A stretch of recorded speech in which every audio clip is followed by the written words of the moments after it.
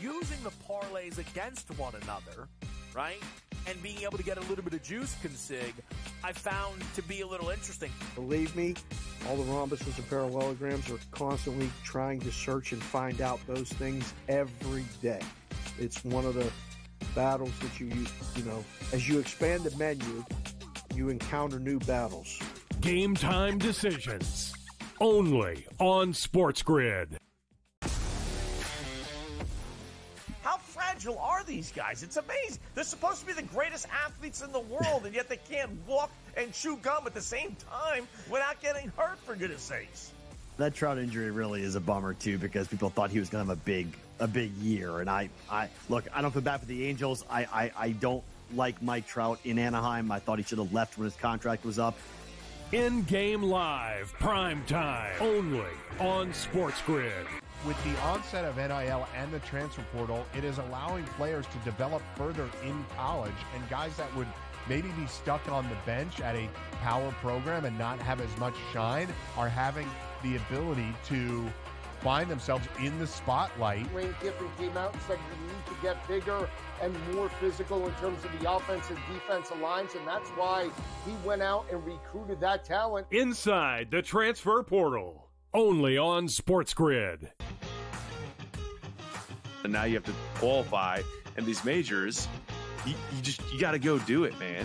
Like, and it just comes off really petty to sit up there and be like, "I'm not." You know what you signed up for, so I, I don't like the pettiness, and um, I, I, 100% think Talor Gooch should be in the major championships. Mm-hmm. So, in the same note, I'm saying this, but also it's like, hey, this is the world in which we live in right now, and, and you and you don't deserve anything.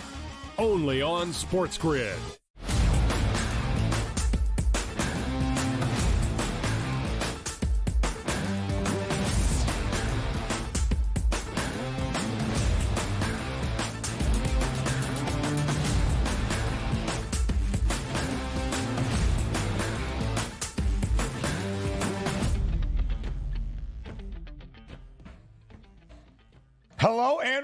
to a Tuesday live right here on the early line on Sports Grid and all across that Sports Grid network. It includes sportsgrid.com slash watch, where you can find your favorite destination to consume everything all across the grid. He is Donnie Rightside. I am Ben Stevens. We say thank you for joining us for these next three hours already up until 11 a.m. Eastern Time. The NBA playoffs after a rare day off begins the conference finals tonight in the Eastern Conference inside TD Garden. It's the Boston Celtics hosting the Indiana Pacers. On the ice, we had one more game seven last night in a pretty full Monday slate in Major League Baseball, where the hottest team in the Bigs had a calamity in the ninth. Something unforeseen for Clay Holmes and the Pinstripes all year long. A ton to get to, Donnie, over these three hours live right here on this Tuesday on the early line.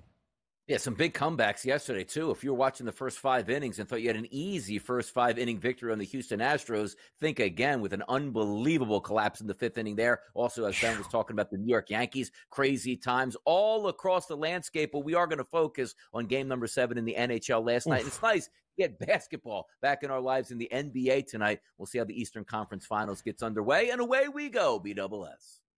So, Donnie, you know that you and I, a couple of puck talk guys, mm-hmm. you gave out a yeah. Stanley Cup playoff best yep. bet to end out the show. We live and we die with the Stanley Cup postseason. However, I cannot truly fathom what it would be like if I had a full allegiance to an NHL team, was a lifelong fan of an NHL team in a Stanley Cup playoff game, let alone a game seven where it came down to the final five minutes. Edmonton goes on the road to Vancouver. And the Oilers knock off the Canucks in game seven. Something about those road teams. The last 48 hours of postseason action, winning a crucial winner take all game seven. The Oilers victorious 3 to 2. But that's not the entire story in a series that was predicted to be very easy for Edmonton that was anything but. Six of the seven games decided by just a single goal. And last night, DRS, that was put on full display. The Oilers score all three of their goals in the second period, quieting the crowd inside Rogers Arena in Vancouver. For the Canucks to score twice in the final nine minutes of regulation and a wild frenzy at the end where if your heart rate was not just spiking off the charts, I don't know how to describe it. Ultimately, the Oilers are victorious in a game seven on the road, booked as a minus 164 money line favorite with that 3 2 win. Uh, the oil derricks were flying and blasting off last night in Edmonton, Alberta, as you watch the fans back in their home arena celebrating inside and outside of that arena on an exciting game. And also, by the way, it probably three to nothing Oilers at the end of the second period. It probably could have been five or six to nothing, but Vancouver's goalie was absolutely sensational early to keep it somewhat close. But as we know, just like in the NBA, 20 point leads, 25 point leads, it always gets close at the end. And it certainly was that. A 3 to 2 victory, a hard fought series by the Edmonton Oilers, but the favorites pulled through minus 160, minus 165 at game Yeah. time. Looked like it was going to be a walk to victory there, but a 3 2 win nonetheless. Edmonton moves on.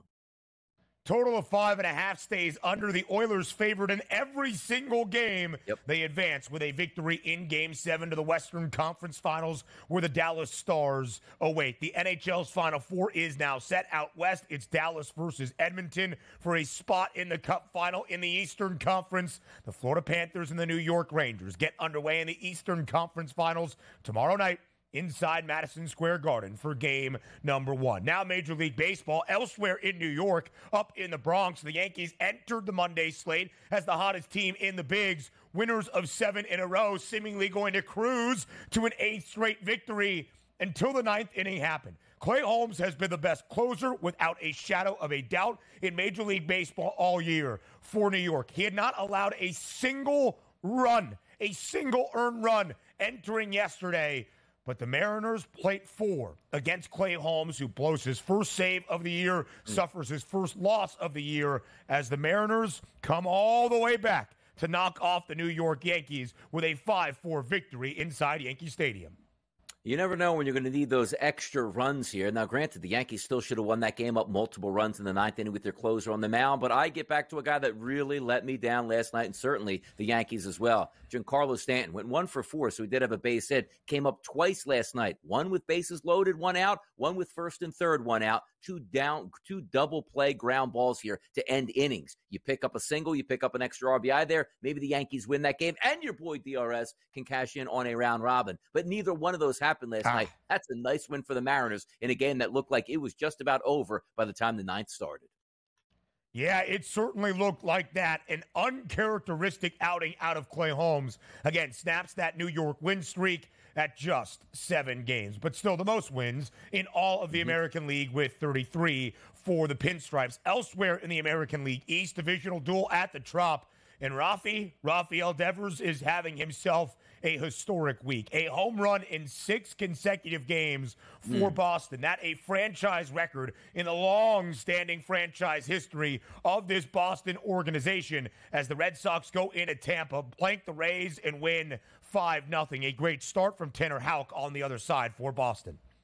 Talked about that yesterday. Houck's been absolutely tremendous. I thought this game would stay under, and it did. Five to nothing final, only five total runs. Taj Bradley, an interesting line here. Seven innings pitched, six hits, and five earned runs, but 10 strikeouts and no walks. Imagine if I told you, Ben, a pitcher went seven innings, six hits, 10 Ks, no walks. You would have thought they won the game five to nothing, but they didn't here. So maybe some good things on the horizon for Taj Bradley, but at the same time, Tanner Houck, four and five, man. Guy should be nine and zero with the way he's pitching.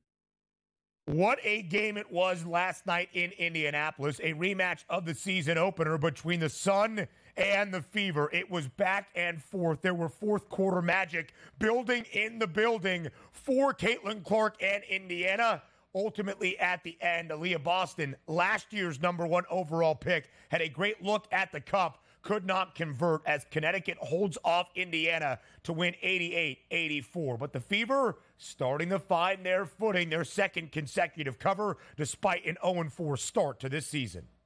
Yeah, they'll get there. They'll eventually get there. Got some good players on the team, and also the FanDuel Sportsbook with a great odds boost yesterday. You take a look at a double double that we needed out of Thomas. Got 24 and 14 in that game. Then you needed Yep. three three point shots made from Caitlin Clark. What did she do? Three of seven cashed in that ticket. So profitable night overall if you were betting anything that had to do with the Fever last night. Alyssa Thomas, DeWanna Bonner, and the entirety of the Connecticut Sun off to a 3 and 0 perfect start. All NBA rookie teams announced yesterday, and on that first team, Victor Wembanyama, Chet Holmgren highlight the list. Jaime Jaquez gets in there, Brandon Miller, the second overall pick by the Charlotte Hornets, and Brandin Podziemski from the Golden State Warriors round out the first team.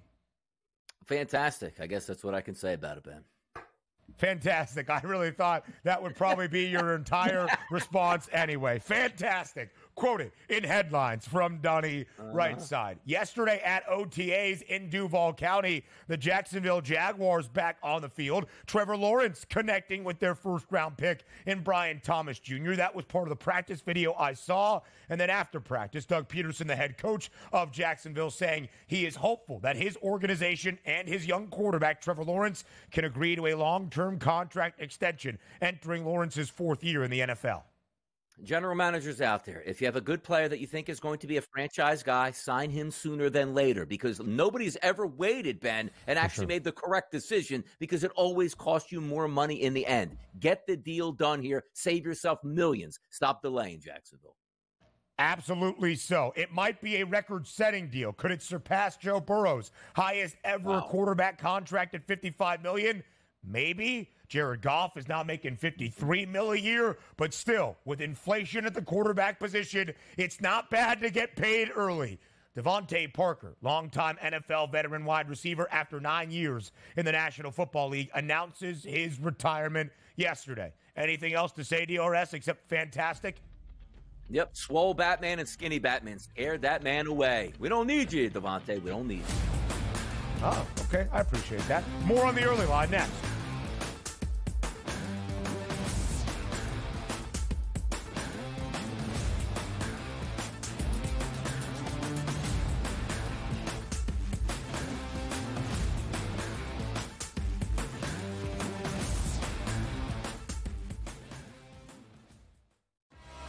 devastating loss uh, to Georgia Tech, where they made uh, significant coaching errors. But uh, Miami, with all of these changes, obviously looking to churn over this roster and upgrade the talent level. Don't sleep on Rick Pitino. Listen, at the end of the day, the portal is the portal, Mike. Don't matter where you came from, it's where you're going and how much money can you get. Inside the transfer portal, only on Sports Grid and now you have to qualify. in these majors, you, you just you got to go do it, man. Like, and it just comes off really petty to sit up there and be like, "I'm not." You know what you signed up for, so I, I don't like the pettiness, and um, I, I, I 100% think Talor Gooch should be in the major championships. Mm-hmm. So, in the same note, I'm saying this, but also it's like, hey, this is the world in which we live in right now, and, and you and you don't deserve anything. Only on Sports Grid. It's smarter to be on Sports Grid, your 24 7 sports wagering network. The early the magical and historic season in Lincoln, Nebraska continues. He is the best player in the NBA, but also in the biggest moments where the national media is watching. Newswire. Something that we have never seen happen before with one of the iconic coaches in the game. Ferrall coast to coast. The team covers. It's automatic. It's every time. Not not sometimes, it's every time. Game time decisions. Luka is actually far more dangerous from three on the road this year than at home. This game here tonight, you may want to consider taking as many points as humanly possible. In game live, prime time. We got not one, but two coaches fired systems in place. Sports Rage this late sort night. Of has letdown written all over it. It's going to be hard to match the emotion that they played with the other night. It's smarter to be on Sports Grid.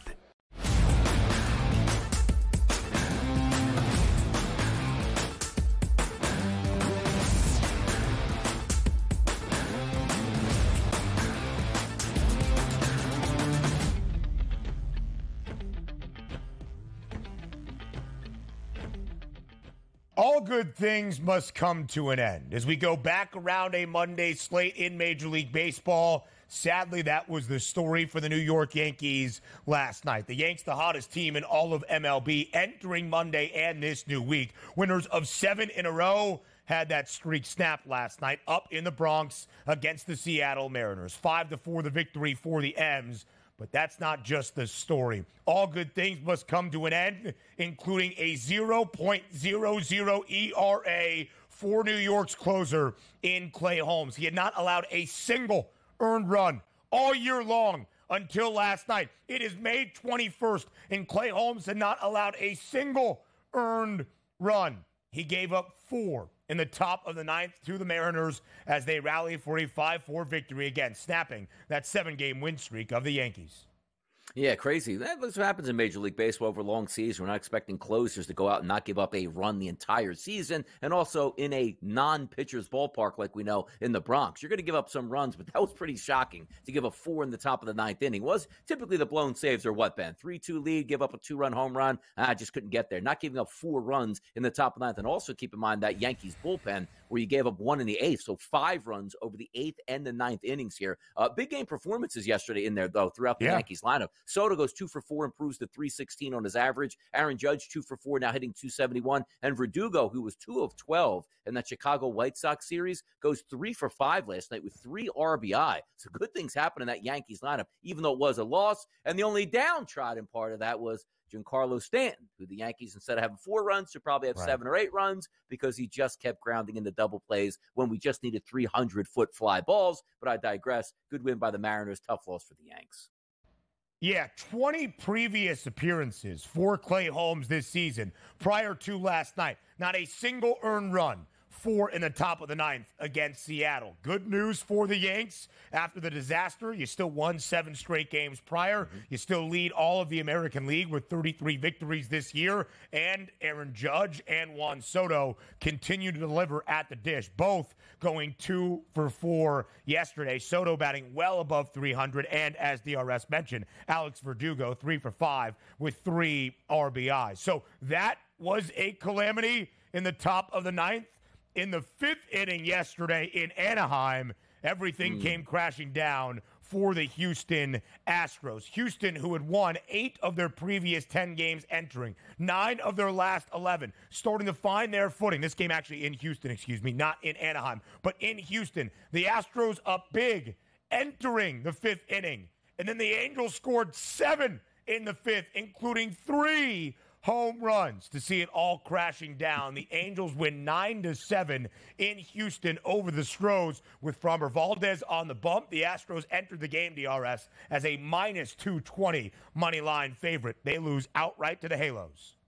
Yeah, Valdez, five innings, pitched 10 hits, eight earned runs. This is the one I talked about to open up the show. It's one of those where if you are a first five inning better, you're isolating pitcher versus pitcher. You're feeling pretty good up six to one in the top of the fifth inning, only give up seven runs in that inning, and they tacked on another run there in the sixth inning for a nine to seven victory. If you like the RBI props in this game, you got them across the board. Altuve with three, Tucker stays hut with one, but also you take a look at that lineup here that doesn't look all that good for the Angels, providing nine runs of support in in Houston. That's one where the Astros like, okay, we're going to continue these good vibes here, pick up series victories. That one ends with a thump here. You should have won that game, let alone giving up seven runs in the fifth inning to not even win the first five innings.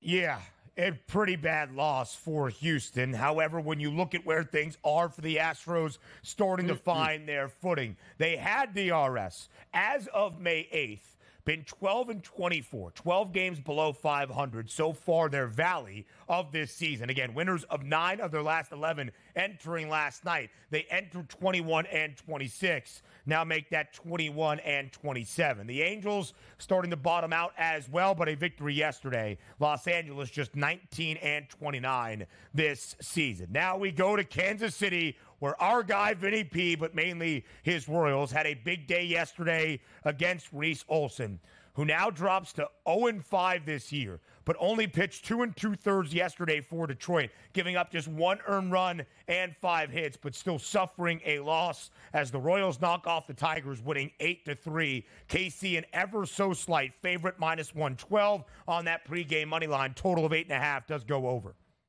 Yeah, got hit with a line drive and had to leave the ball game here. Yeah. Tough scene because in the sixth inning, we're anticipating him still probably pitching. He gave up six runs in that bottom of the sixth. And you take a look at that lineup, the usual suspects. Garcia is a really good leadoff hitter. He gets an RBI. Our boy Vinny P doesn't actually get a base hit, but drives in a run. And then Michael right. Massey, of course, went three for four yesterday with an RBI. Pretty impressive lineup. And look at that. The Kansas City Royals right now, 30 and 19 overall after that easy victory over the Detroit Tigers. Maybe this team is legitimate. I have an over of 73 and a half for KC's win total this Yep. year. I am feeling great. The Royals did not hit 30 wins until July 28th last mm-hmm. year. July 28th, well before May 28th and Memorial Day, the Kansas City Royals have now hit their 30th win of the season. And when you look at the American League Central, the Guardians still maintain a game and a half advantage. Cleveland winning yesterday, but still, it's going to be tightly contested for that top spot. Now we go to Tampa at the Trop. The Rays booked as a home favorite, minus 122 on the money line. I'm mad at myself for not believing in Tanner Houck and Boston and just betting the Red Sox as a money line underdog because Tanner Houck, with the way he is pitching, should not be booked as a money line underdog even against the Rays. Rafael Devers hits a home run for the sixth consecutive game, the longest streak of an individual hitting a home run in consecutive games in Boston Red Sox franchise history as the Sox go into the Trop and win 5 0. Yeah, take a look at that first five batters in that lineup for the Red Sox. And again, a team we didn't expect all that much from, now sitting at 24 and 24 on the season. And Tampa Bay, by the way, with that loss, 25 and 24. So those two teams jockeying for position in the American League East. But Duran, Abreu, O'Neill, Devers, and Wong. Take a look at these batting averages 70, 269, 255, 284, and 350. That's pretty good here, man. Boston's hitting and now getting some pitching out of guys like Tanner Houck that we didn't anticipate being this good here. Maybe it could be a Right. playoff run, maybe a wild card run for Boston this season. A couple of those teams in the American League East, like Tampa, like Boston, if Toronto resurfaces, maybe making a run to American League playoff contention, long way to go. More MLB recaps come your way next.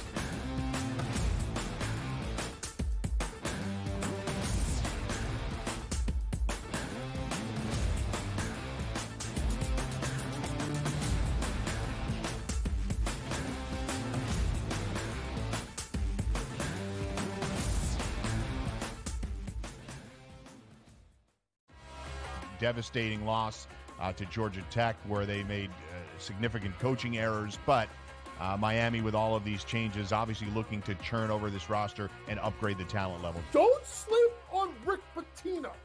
Listen, at the end of the day, the portal is the portal, Mike. Don't matter where you came from, it's where you're going and how much money can you get. Inside the transfer portal. Only on Sports Grid. And now you have to qualify and these majors you, you just you got to go do it man like and it just comes off really petty to sit up there and be like i'm not you know what you signed up for. So I, I don't like the pettiness, and um, I, I, I 100% think Talor Gooch should be in the major championships. So in the same note, I'm saying this, but also it's like, hey, this is the world in which we live in right now, and, and you and you don't deserve anything. Only on Sports Grid. It's smarter to be on Sports Grid. Your 24 7 sports wagering network. The early line. Magical and historic season in Lincoln, Nebraska continues. He is the best player in the NBA, but also in the biggest moments where the national media is watching. Newswire. Something that we have never seen happen before with one of the iconic coaches in the game. Ferrall Coast to Coast. The team covers. It's automatic. It's every time. Not not sometimes. It's every time. Game time Luka decisions. Is actually far more dangerous from three on the road this year than at home. This game here tonight, you may want to consider taking as many points as humanly possible. In game live. Prime time. We got not one, but two coaches fired systems in place. Sports Rage This Late sort of Night. has letdown written all over it. It's going to be hard to match the emotion that they played with the other night. It's smarter to be on Sports Grid.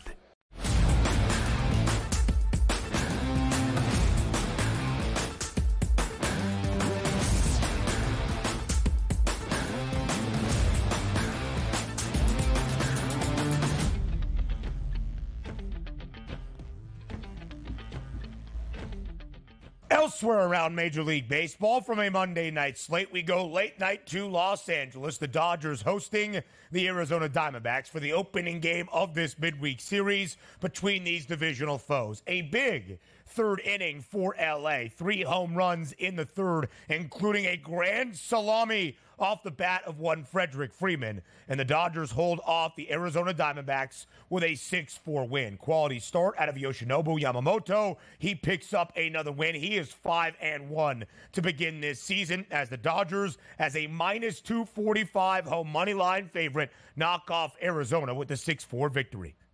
Yeah, Cecconi's been bad pitcher this year for Arizona. Five Yeah, innings bad. pitched, six hits, six earned runs. It's just what you get at him. One and four. He's got those high xFIP numbers, which means it leads to fly balls. And you saw fly balls from Freeman and Will Smith yesterday. As Ben pointed out, a grand slam from Freddie Freeman. But I got to tell you, look at that lineup here for the Arizona Diamondbacks. Uh, Ketel Marte having a very good season, 291 right now. But Joc Pederson has been really good in that DH role, hitting 318, cashed in on another RBI yesterday. But Corbin Carroll goes one for five. That was one of the better players in baseball last year, hitting 191 on the season, still not finding his way. Three strikeouts yesterday. We expect these type of performance by the Dodgers. Just give me something decent on the mound. Our batters will be able to figure out the other team's pitcher. Six to four win. This is what the Dodgers do. 33 and 17 now on the season. We're waiting for the Diamondbacks to sort of capture what they said last year down the stretch. Right. They just haven't been able to do it yet. It's a tough division. They're not getting the pitching they need right now. That's all.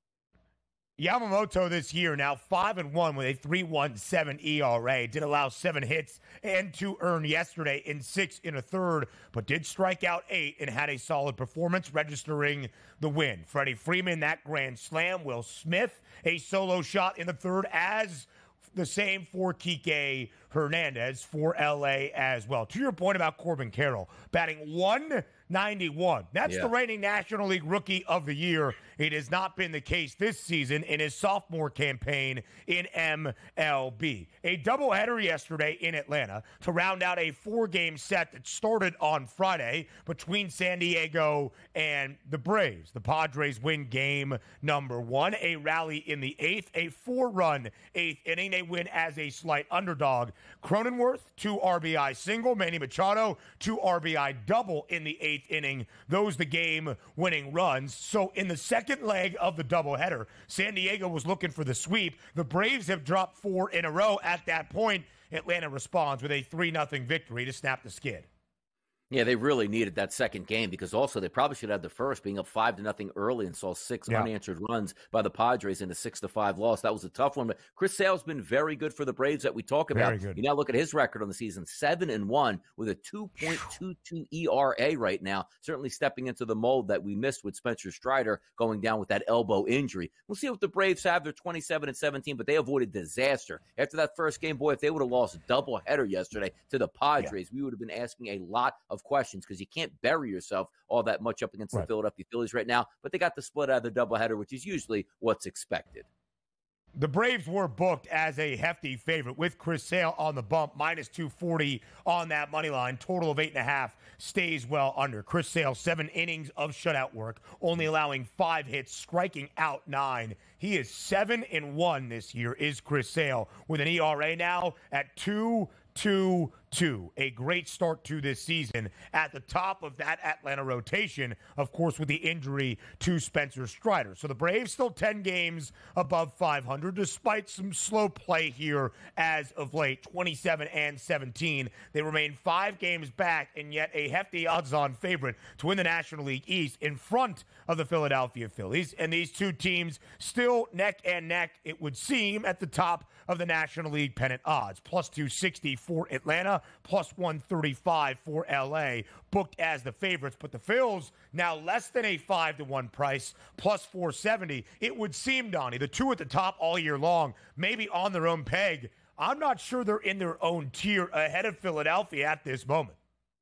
Yeah, I don't think so at this time. And granted, we have a long way to go in the summer. Injuries happen. Teams play very good baseball. Teams go in the lulls. It's just what it is. But five game lead for the Phillies this early in the season. We'll see how far they can extend that. The Texas Rangers come to town here to take on the Phillies at Citizens Bank Ballpark. We'll see if the Phillies can win yet another series just to keep the pace on the Braves. 34 wins, the most in Major League Baseball, which, which is crazy. The Phillies have had a long, illustrious history, mostly of losing for a long time. It's kind of interesting to see them getting out to their best start ever in baseball history in Philadelphia. We'll see if they can continue at 70% winning percentage. I don't know if you can continue it, but boy, I would love to see it as a fan. And even reaching the last two championship series in the National League, it was because the Phils rallied in the second half of the year and were great in the playoffs. Speaking of postseason action, to the NBA next.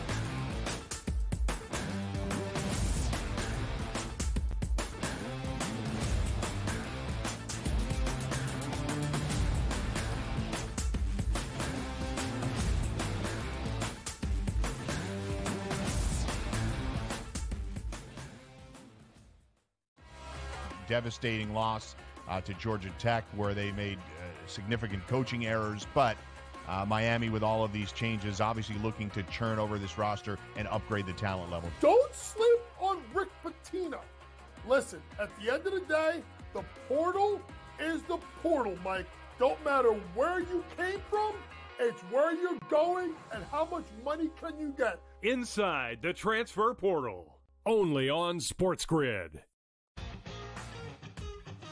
and now you have to qualify and these majors you, you just you got to go do it man like and it just comes off really petty to sit up there and be like i'm not you know what you signed up for so i, I don't like the pettiness and um, I, I, I 100% think Talor Gooch should be in the major championships. Mm-hmm. So, in the same note, I'm saying this, but also it's like, hey, this is the world in which we live in right now, and, and, you, and you don't deserve anything. Only on Sports Grid. It's smarter to be on Sports Grid, your 24 7 sports wagering network.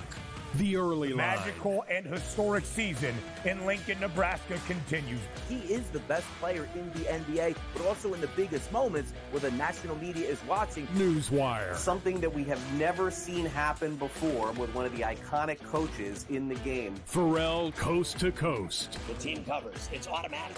It's every time. Not not sometimes. It's every time. Game time decisions. Luka is actually far more dangerous from three on the road this year than at home. This game here tonight, you may want to consider taking as many points as humanly possible. In game live, prime time. We got not one, but two coaches fired systems in place. Sports Rage this late sort night. Of has letdown written all over it. It's going to be hard to match the emotion that they played with the other night. It's smarter to be on Sports Grid.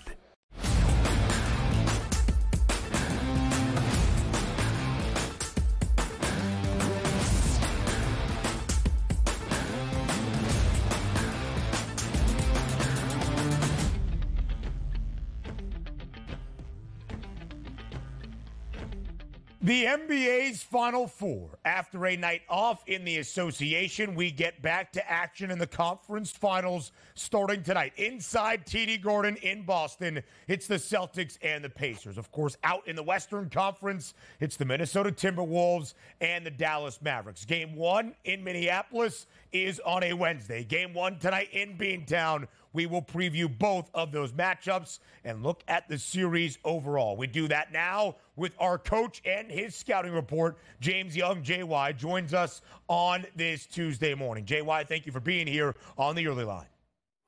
Good to be on with you guys. I, the, the commercial break was interesting because all Donnie Rightside is trying to do is get me off my game with the Knicks. But Ben, I'm here. I'm focused. I'm ready to go. You, you know the one thing that was never said in the commercial break to maybe keep Donnie Rightside in his corner is that the Knicks have the ultimate trump card over Donnie's Sixers. New York, even shorthanded and banged up, beat up on Philadelphia in six games, winning game six on the road in Philly. But we'll save that for a different day. JY, the NBA playoff bracket has reached the conference finals. Again, it's Boston and Indiana in the Eastern Conference finals. It's Minnesota and Dallas in the Western Conference finals. Of the NBA's final four, how many of these actual teams did you expect to reach this stage?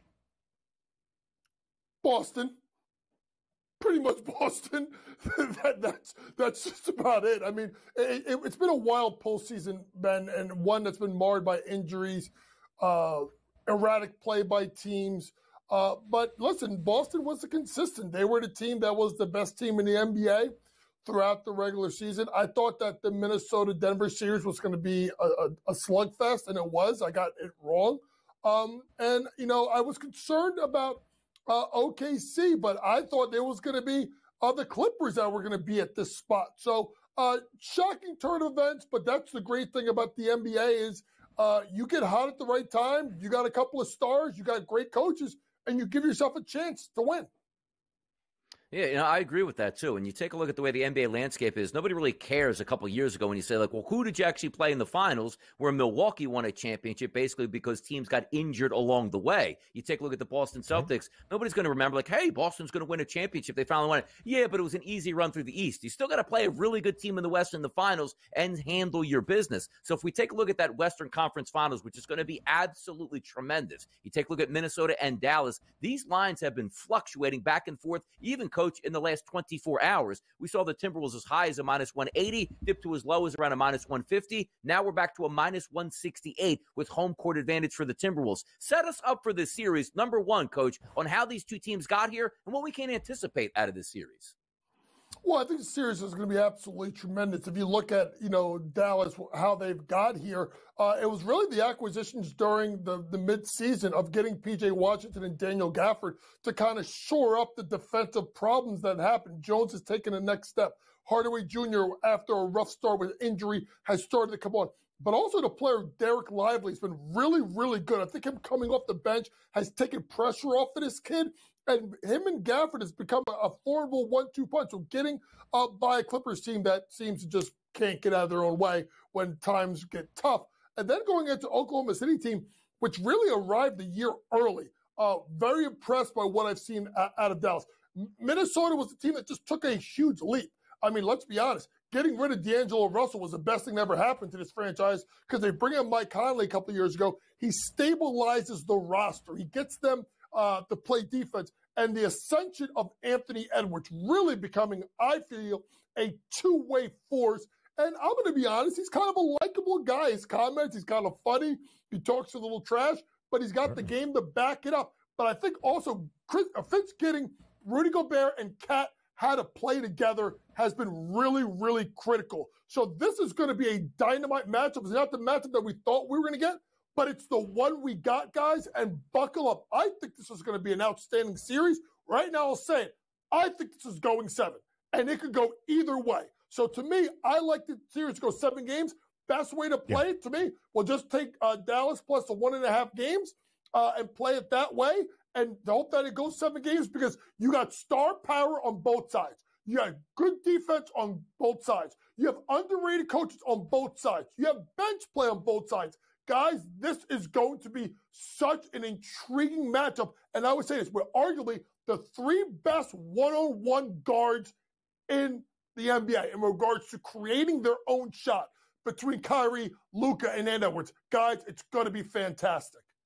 From the odds perspective, JY, a great way of looking at this series. If we think it's going the distance, if we think we see all seven games in this best of seven, then Dallas plus one and a half, plus one and a half games. So either the Mavericks win the series or it goes to seven and Minnesota victorious in that seventh game. That would be a cash ticket. And we've seen some changing juice on that number as the series outright prices inch closer and closer as the public and the betting markets expecting this to be a grueling and incredibly competitive series. So as we look at these two teams, you highlighted what Minnesota does well. You noted what Dallas has changed to get to this point in the postseason. When you compare the two, though, JY, what do you think is the key matchup to watch throughout this series that could dictate the outcome? Well, honestly, guys, it's going to be something that I don't think people are going to expect.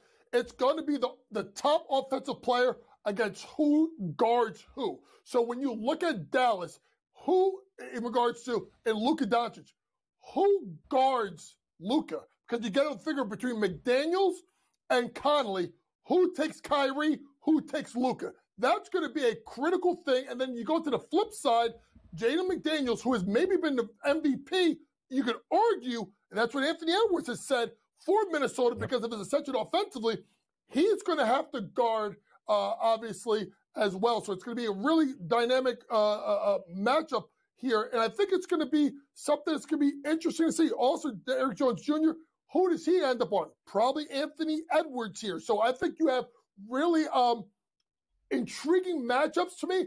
I think we start looking at it. If you start looking at series props, guys, I think Anthony Edwards – to lead the in scoring at plus 125 is where I'm looking. I know Luka is absolutely dynamic. But you could also get games where Kyrie's got to carry the load. He was much better in game six, particularly in the second half, being aggressive, looking for his shot. I think I look at Anthony Edwards at plus 25 to 125 to lead the series in scoring because I think he's going to really have to try and put this team on his back offensively to try and win this series. Western Conference MVP odds that you can bet on here at the FanDuel Sportsbook. We take a look at that graphic. Anthony Edwards at a minus 150 price, Luka Doncic mm. plus 165, uh, Towns at 14 to 1, and Irving at 16 to 1. If we look at some of those, because we talked about this yesterday, is it better off, coach, to get maybe slightly better pricing if you just take the superstar player to win, or are you just more comfortable to say, you know what, I don't want to get burned by anybody else winning this. I would just rather pick the team that actually wins the series here. What are your thoughts on these MVP odds?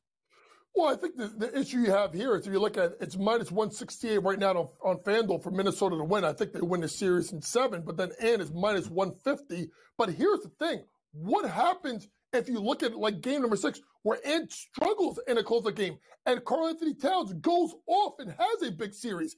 I, I wouldn't I wouldn't look at that. I would just take Minnesota minus 168 if you want to just take them to win the series.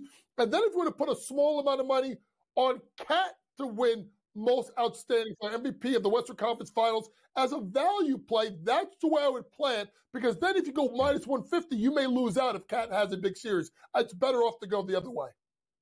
There are 15 cents of difference from the price of Minnesota winning this series, or a little bit less than 20 cents, I should say, for Minnesota winning the series, to the number for Anthony Edwards. Minus 168 for the T Wolves, minus 150 for Ant to win the Western Conference Finals MVP. There are 23 cents of difference for that same story on the other side for the Mavericks as the underdog or Luka Doncic with the second best price to win the Western Conference Finals MVP. Game one tomorrow night in the Twin Cities. Minnesota at this moment, a four point home favorite. Total for the opening game of the WCF stands at 207. Now to the Eastern Conference Finals. We do that up next.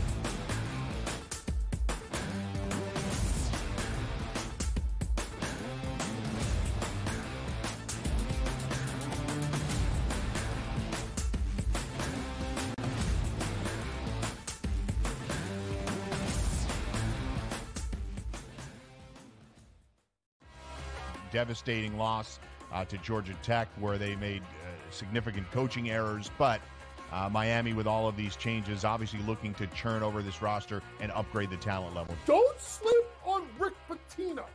Listen, at the end of the day, the portal is the portal, Mike. Don't matter where you came from, it's where you're going and how much money can you get. Inside the transfer portal, only on Sports Grid and now you have to qualify and these majors you, you just you got to go do it man like and it just comes off really petty to sit up there and be like i'm not you know what you signed up for so i, I don't like the pettiness and um, I, I, I 100% think Talor Gooch should be in the major championships. Mm-hmm. So, in the same note, I'm saying this, but also it's like, hey, this is the world in which we live in right now, and, and, you, and you don't deserve anything. Only on Sports Grid. It's smarter to be on Sports Grid, your 24 7 sports wagering network.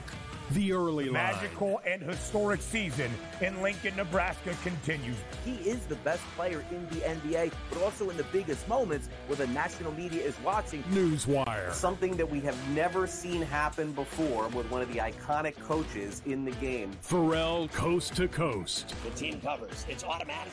It's every time. Not not sometimes. It's every time. Game time decisions. Luka is actually far more dangerous from three on the road this year than at home. This game here tonight, you may want to consider taking as many points as humanly possible. In game live, prime time. We got not one but two coaches fired systems in place. Sports Rage this late sort night. of has letdown written all over it. It's going to be hard to match the emotion that they played with the other night. It's smarter to be on Sports Grid.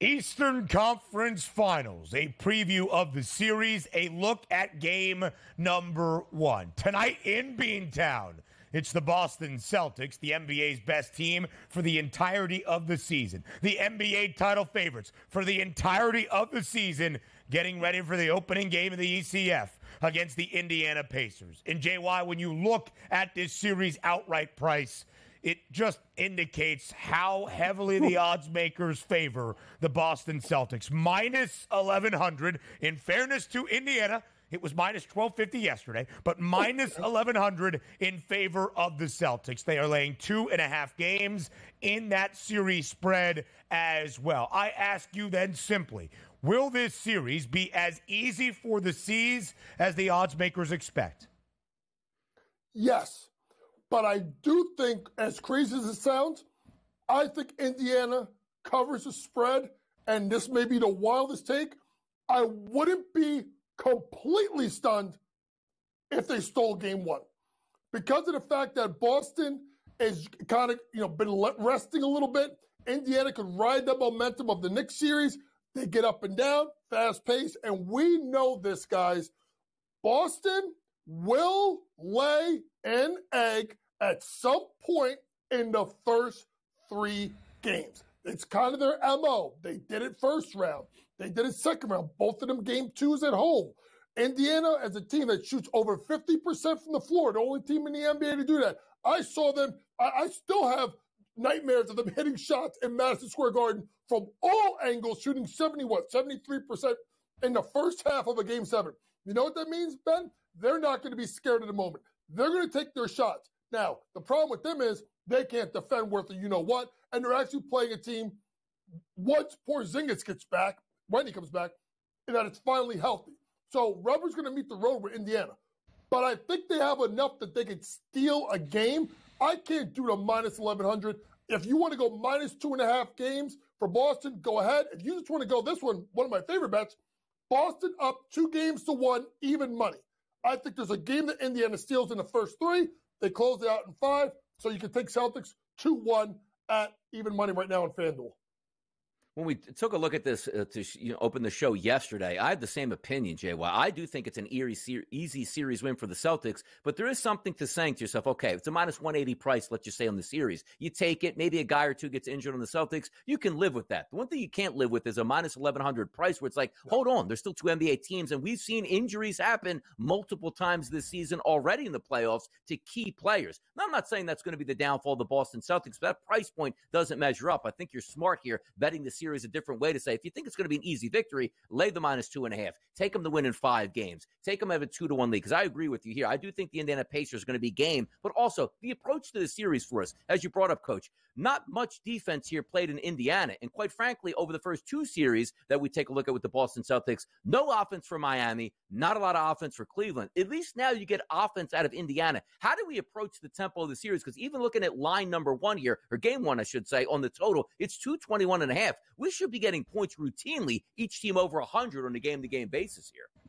Obviously, yeah. If you look at the track record of the games that they've played during the regular season 129, 124, mm-hmm. 133, 131. The outlier 118, 101, 122, 112, and then 155, yeah. 104. Here's the thing, folks. When Indiana's going to do what Indiana's going to do. See, if you look at what happened in the Knicks series, the Knicks had to try and slow them down because they were a mass unit by the end of it. So to me, Boston has the guys that can get up and play and play up tempo pace. They have the depth when you bring guys like Hauser and Pritchard off the bench that they can keep the game going and flowing offensively. Indiana's going to run because that's the way Rick Carlisle's going to play it, and you can't change your stripes when the playoffs start. So I think points are plenty. It's interesting that it's 221 and a half as compared to what 206, 207 and a half in the West. I think game one goes over. I think it's going to be a lot of points. Yeah, when you look at that total 221 and a hook, it's because of how the Pacers play. We'll get a deeper breakdown into this opening game tonight inside TD Garden, looking at the players that will affect the outcome of this first game of the Eastern Conference Finals in just a little bit. But JY, now we go individual perspective for this series overall. When you look at the odds to win the Eastern Conference Finals MVP, named after Larry Bird, the Celtics really are the front of this table. Jayson Tatum, hefty favorite, minus 220. Jaylen Brown, plus 350. If you believe the Celtics are going to win this series, maybe doing so in as little as five games, who would be your bet to win the Eastern Conference Finals MVP award? It's going to be Jayson Tatum, but I can't bet that at minus 220. I, I just, I don't think, I don't see the value with it, Ben. Uh, and this is a spot where Jayson Tatum should step up and do it. Now, when you look at defensively, you know, who's going to guard him? It's, you know, probably going to be Pascal Siakam, but Siakam's going to have to worry about scoring because you figure Nesmith, because how he played on Brunson, probably goes on to Jaylen Brown, right? So I think that's where you kind of look at it. So it's Tatum to me, but I can't bet that. To me, when you start looking at the market, where do you want to go? You got to start looking at some of the props. For instance, to me, uh, most threes made, I like Derrick White at plus 170. Why? Just look at what Donte DiVincenzo did in the last series. I think he's going to have the shot volume. I think you're going to put Halliburton on him. Halliburton falls asleep defensively at times, and Derrick White can get loose. Derrick White at plus 170 to lead this series in three pointers made. By the way, Coach, if we're looking at this series prices here on those MVP odds, let's so usually from a Celtics perspective, and rightfully so, Tatum Brown right there, one and two. But if the Pacers were to force a game seven and possibly win this series, which player, from your perspective, would it be like, you know what? This guy put that team and that town on his shoulders. I, I would have to go ready. I would go Siakam. Yeah, me too. Because I yep. because if, defensively, Jrue Holiday's taking Halliburton. So I think Jrue's going to take him out. To me, it, it's it's going to be uh, Siakam, or if you want to really throw like a wild one, I don't even say it would be Myles. Don't Turner. say it. I, okay. I, I, you know what? We we, we going Aaron uh, uh, Aaron, Aaron Nesmith. McConnell. I mean, McConnell. I no, thought no, no. T.J. McConnell was getting the shout No. to win Eastern Conference Finals MVP. That's what No. that's what I thought. Man, When JY said if you want to get wild and you see T.J. McConnell with that 10th best price at 380 to one, I thought we were getting I'm really, wild. Really crazy. wild. We look back on the New York Knicks, JY. Next. Oh, not the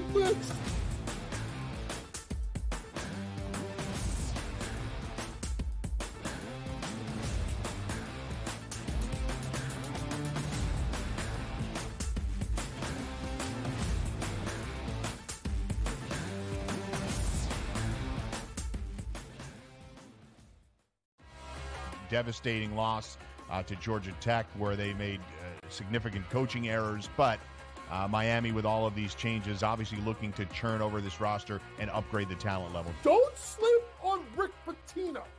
Listen, at the end of the day, the portal is the portal, Mike. Don't matter where you came from, it's where you're going and how much money can you get. Inside the transfer portal, only on Sports Grid. And now you have to qualify and these majors you, you just you got to go do it man like and it just comes off really petty to sit up there and be like i'm not you know what you signed up for. So I, I don't like the pettiness, and um, I, I, I 100% think Talor Gooch should be in the major championships. So in the same note, I'm saying this, but also it's like, hey, this is the world in which we live in right now, and, and you and you don't deserve anything. Only on Sports Grid. It's smarter to be on Sports Grid. Your 24 7 sports wagering network. The early line. Magical and historic season in Lincoln, Nebraska continues. He is the best player in the NBA, but also in the biggest moments where the national media is watching. Newswire. Something that we have never seen happen before with one of the iconic coaches in the game. Ferrall Coast to Coast. The team covers. It's automatic.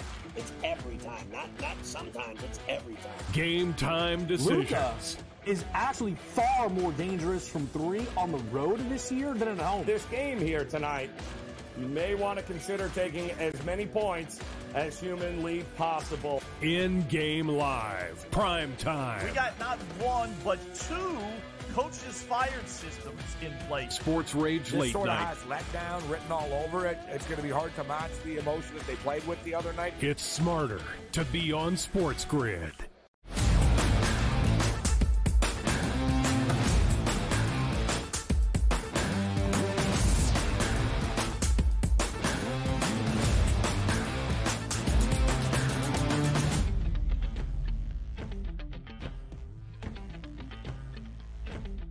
Moment to look back, filled with appreciation, or maybe not quite getting to the point where people wanted it to be. We do that with our coach, James Young, JY, live right here on this Tuesday on the early line. And we start with JY's New York Knicks. They reached the Eastern Conference semifinals, the second round of the NBA playoffs for a second consecutive season, but unable to reach the Eastern Conference finals, which has eluded New York since the year 2000. JY, of course, the story for the New York Knicks in this postseason the injury bug and how shorthanded they were. No Julius Randle for the entirety of this playoff run. No Mitchell Robinson at the end of the first round. OG Anunoby gets injured in game number two. Josh Hart did not look right in either game six or game seven. And the final blow, not sure it really would have mattered for the outcome, but the final blow, part of the story, Jalen Brunson fracturing his left hand late in the third quarter